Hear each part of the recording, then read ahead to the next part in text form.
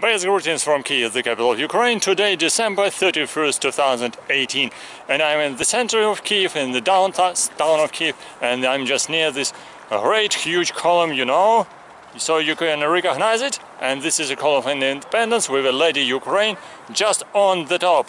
My name is Victor Fursov, and this is my channel, Victor Fursov, entomologist, beekeeper, teacher, and I'm very pleased to send my best entomological greetings of Merry Christmas and coming New Year 2019 here from the center of Kiev. You see here, not too many people, but at least there is a light, so I can record this video. And it's quite quiet here. Nevertheless, everywhere around is reminding people what was going on here and now five years ago. There are a lot of not very pleasant things were coming here last time, so I have not seen these guys over there like that, but you see, quite unpleasant. Uh, so this is a kind of demonstration after all these events five years ago. So this year was uh, different troubles and the, the past five years were also in troubles in Ukraine. Not everything was very quiet, a lot of huge troubles in different places in Ukraine. So that's why if you are a tourist, so you can take a risk coming to Ukraine to make your business or to make your dating or meet with people, with friends and everything else. Because Ukraine has a lot of touristic attractions, but also has a a lot of uh, different troubles. Sorry about that. Okay, forget about it. If you are just an adventurous person, you're coming here and you have a fun. Nevertheless, you see, I wanted to show you this. This is a huge ball over there here.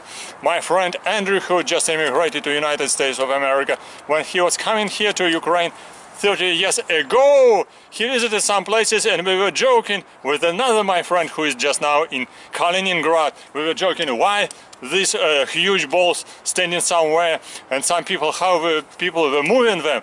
I say people were very uh, crazy to move them and now you can recognize even this ball slightly uh, halfly destroyed and it was during events five years ago in 2014 so you can recognize here, uh, um, just behind this uh, monument there is a special shopping center. This shopping center is working, so we're coming here to Globus, where we record part of our another greetings regarding to Merry Christmas and Happy New Year in United States, in Canada, in Australia, in America, in New Zealand, in other countries, English-speaking countries, and of course some my friends who are speaking Russian also can understand me fortunately. So always say record more video in English and I will promise you I will do a new video in this latest day of this year and also in a new year in Russian and in Ukrainian and in English as well. So thank you for coming